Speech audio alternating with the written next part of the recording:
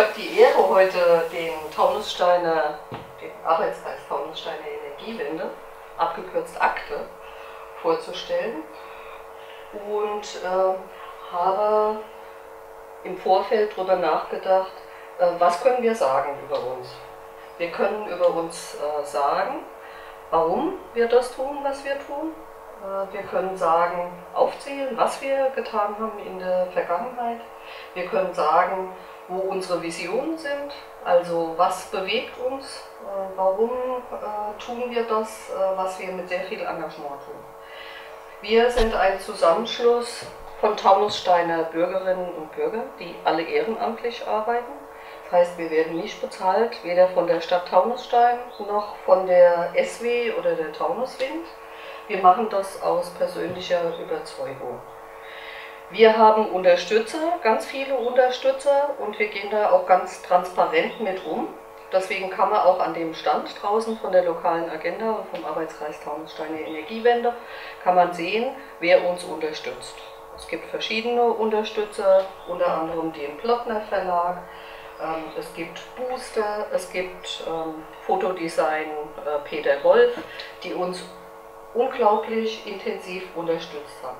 Das sind alles Taunussteiner Bürger, so wie Sie und wir, ähm, die die sind Ingenieure, die sind Physiker, die sind äh, Wirtschaftswissenschaftler, die sind Hausfrauen, die sind Angestellte, die sind Gewerbetreibende, die sind freischaffende Künstler, die sind Väter, Mütter, Großmütter, Großväter. Also wir bilden einen repräsentativen Schnitt durch die Taunussteiner Bevölkerung.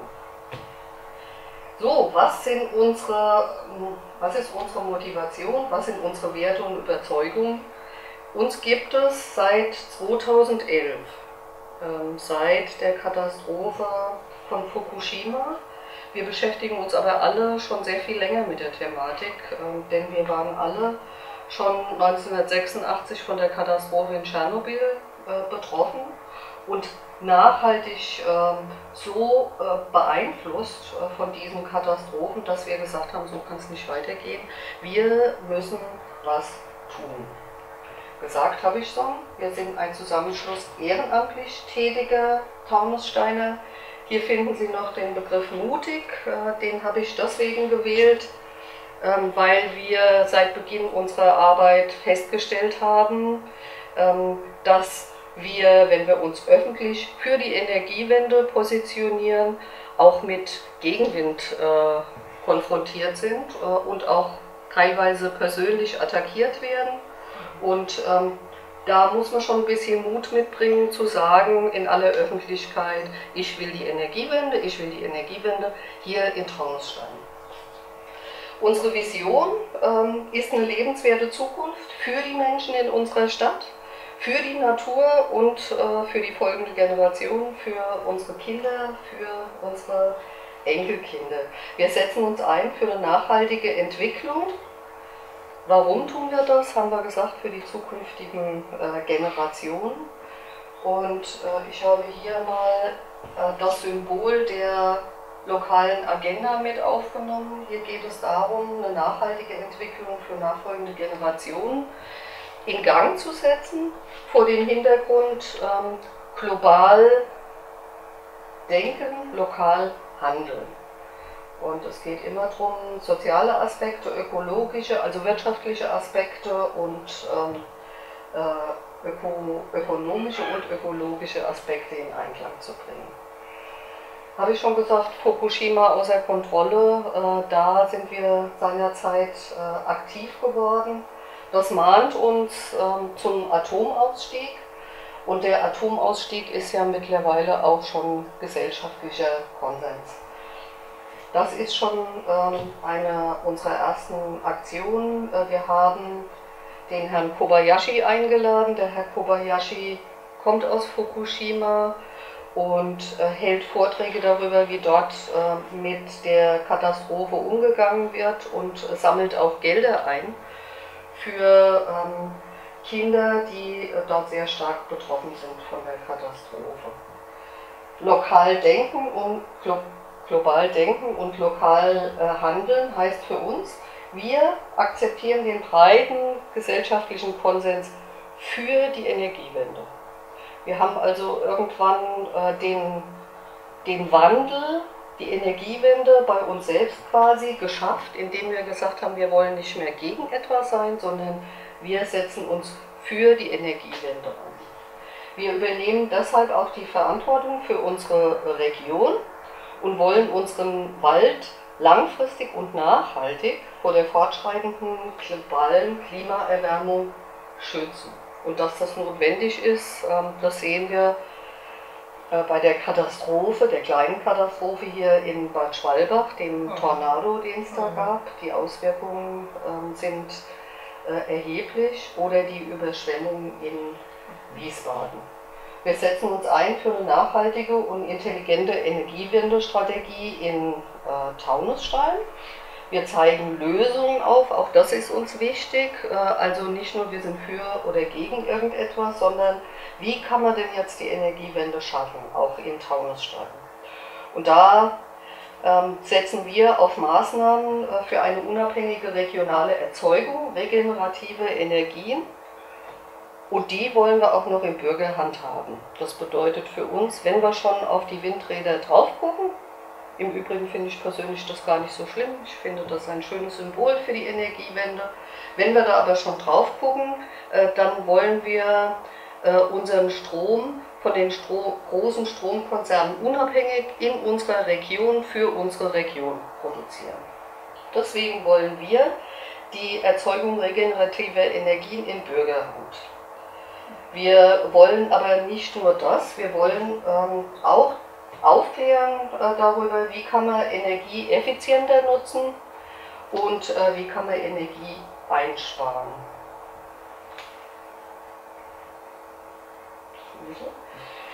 Als wir unsere Arbeit begonnen haben, äh, sind wir äh, damit konfrontiert worden äh, mit einer Nein-Sage-Initiative, die gesagt hat, nein, wir wollen keine Windräder in unserer Landschaft, wir wollen keine Solarsubventionen, wir wollen keine Stromleitung über unserem Dorf. Und wir haben gedacht, ähm, also das ist äh, keine Lösung. Wenn wir uns abwenden wollen und die AKWs abschalten wollen, müssen wir umdenken. Deswegen wollen wir die Energiewende und wir wollen sie nicht erst in 20 Jahren, wir wollen sie jetzt.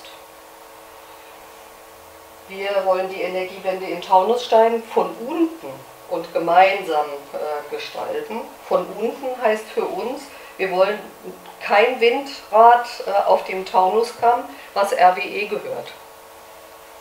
Wir äh, wollen auch kein äh, Windrad auf dem Taunuskamm, das von Holländern gebaut wird. Mhm. Wir positionieren uns für die Energiewende und zeigen Möglichkeiten und Lösungsansätze auf.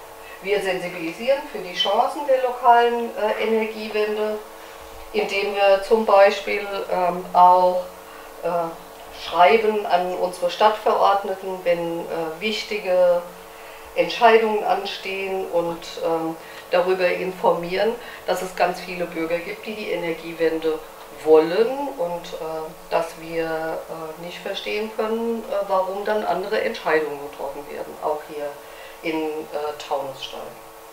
Wir wollen allerdings auch die Diskussion versachlichen. Wir haben festgestellt, äh, dass es ganz viele Fehlinformationen rund äh, um die Energiewende gibt. Ähm, es gibt ganz viele Aktionen gegen die Energiewende und ich sage ganz bewusst gegen die Energiewende, obwohl man immer hört, äh, wir sind ja für die Energiewende, wir wollen nur keine Windräder hier bei uns.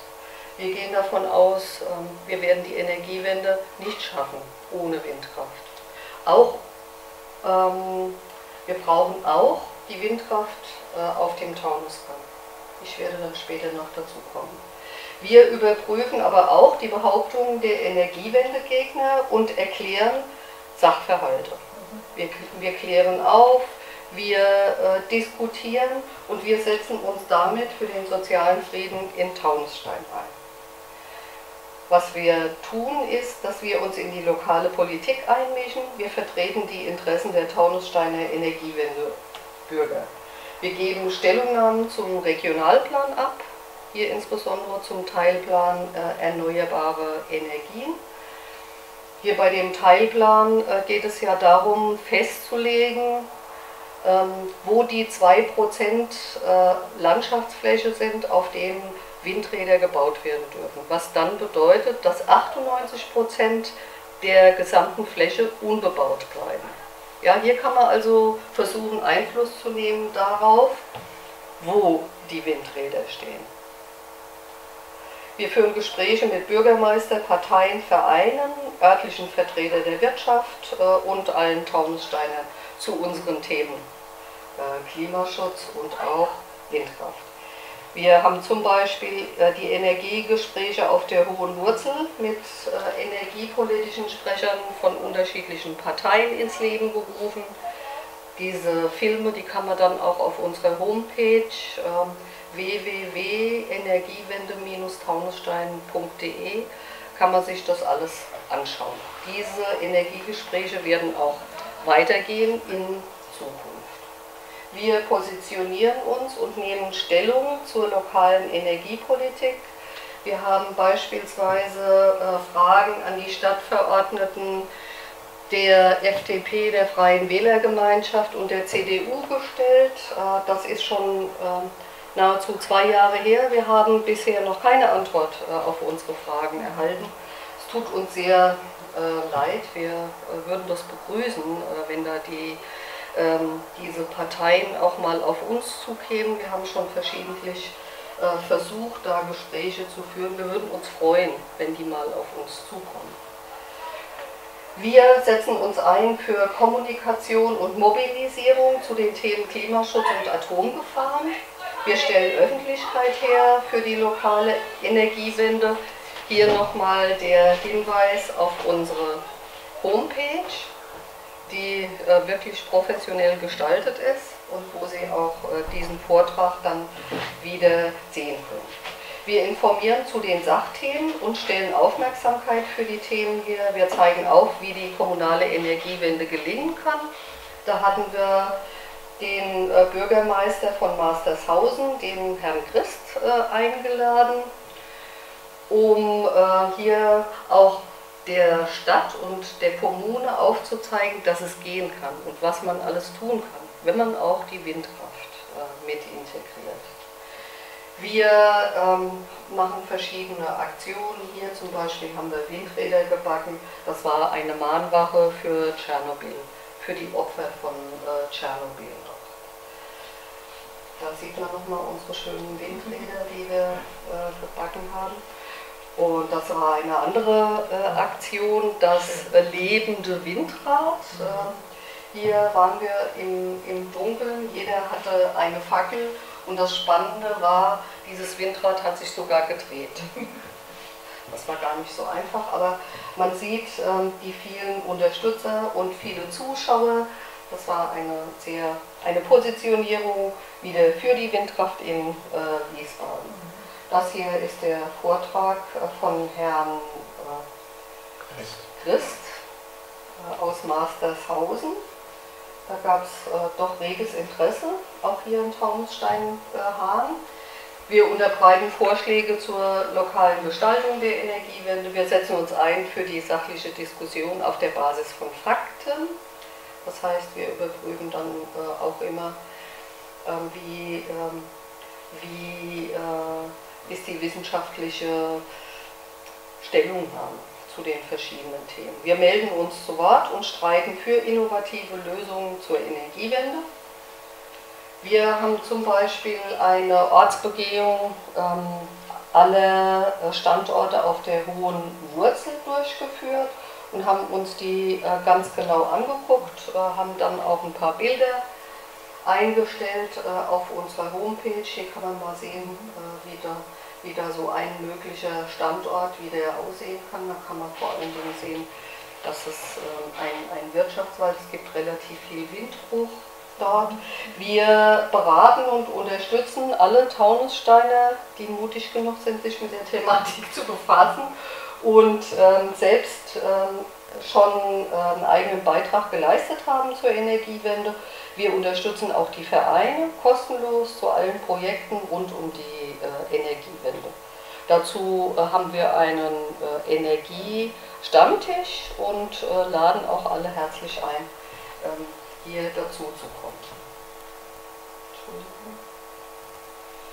Hier kann man mal eine gemeinsame Aktion mit unserem Energiewende Bündnis ähm, sehen. Da gab es die große Demo Mainz-Wiesbaden, Energiewende retten.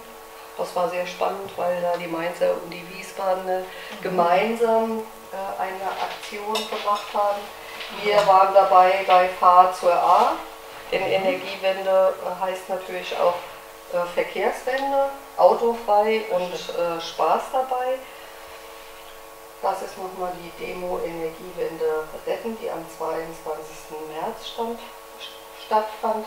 Wir haben äh, Strom, eine Stromwechselparty äh, organisiert, wo wir darüber aufklären, wie, wie kann man das einfach machen, welche, ähm, welche äh, an Stromanbieter gibt es, die sauberen Strom anbieten. Wir haben den Tigerstand äh, hier draußen mit viel Engagement und viel Zeit ähm, hier zusammengebaut und äh, die ganzen Vorträge organisiert. Wir basteln Windräder mit Kindern.